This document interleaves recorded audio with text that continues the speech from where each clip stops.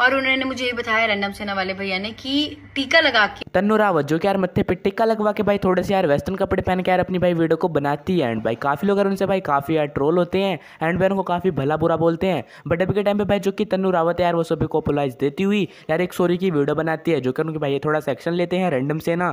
And भाई बताते हैं रैंडम सेना अपनी वीडियो में। एंड बाकी जो कि यार भाई तन्नू रावत यार वो सबसे सॉरी मांगती है।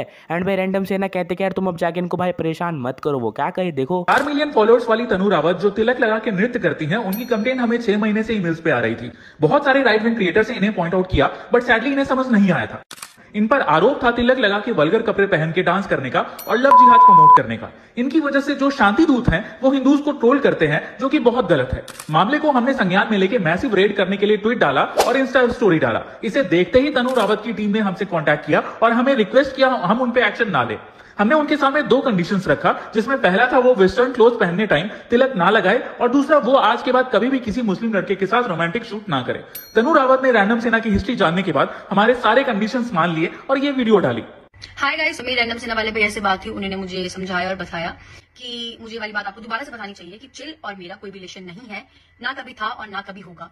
और उन्होंने मुझे बताया रनम सेना वाले भैया ने कि टीका लगा के वेस्टर्न ड्रेस पहनने में लोगों को गलत मैसेज आता है मैंने टीका लगा के वेस्टर्न ड्रेस पहनना छोड़ दिया है और आगे से मेरे आ, मेरी साइड से किसी भी हिंदू को केस नहीं पहुँचने वाली क्योंकि मैं खुद एक प्राउड हिंदू।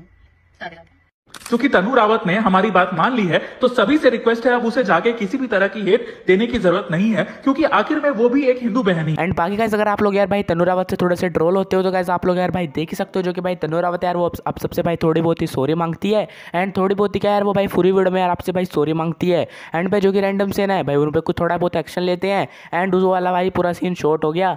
एंड बाकी यार आप लोग भाई क्या सोचते हो तनु रावत के, अब बारे में आप लोग यार मेरे को कॉमेंट बॉक्स में बता सकते हो। एंड बाकी यार आप लोग भाई उनको परेशान वगैरह मत ही करना यार।